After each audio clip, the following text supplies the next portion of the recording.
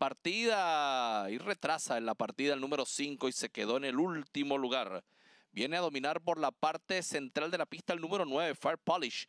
Fire Polish está dominando bien abierto ahora el 12 con buena velocidad Silent Musketeer y también se mete en la pelea el número 11 Witch Bow.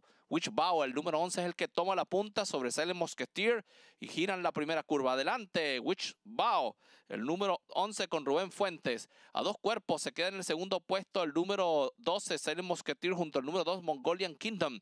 Enseguida avanza por dentro Fire Polish, el número 9 a unos cinco cuerpos de la punta. Más atrás quedó el 1 Direct Line y trata de acercarse por el centro de la pista el número 10, My Indie. Luego por dentro está accionando el número 8, el ejemplar eh, Croix Moore. Los últimos lugares son para el número 3, Commanding Chief. Igualmente está metido allí el número 7, el ejemplar Fleeting Life, junto al número 6, el caballo eh, Lem at M y el número 5, el caballo Infratuate. 45 4, un parcial violentísimo de Howich Bow, que está intentando una tremenda sprintada en esta carrera. Mongolian Kingdom, el 2 mantiene el segundo. En el tercero, el número 12, Silent Mosqueteer, retrograda al 9. El 1 trata de atropellar Direct Line y desde el fondo mejora mucho por la parte externa. El número 3, Commanding Chief, entran en la recta final. Wish Bow tratando en 1-10-2 de venírseles de tiro a tiro. Está cansado, pero tiene una enorme ventaja. Volando por fuera, Commanding Chief el número 3,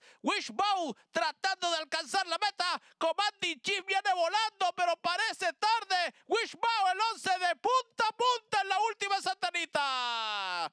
Segundo el 3, el caballo Commanding Chief. Y tercero el 2, Mongolian Kingdom.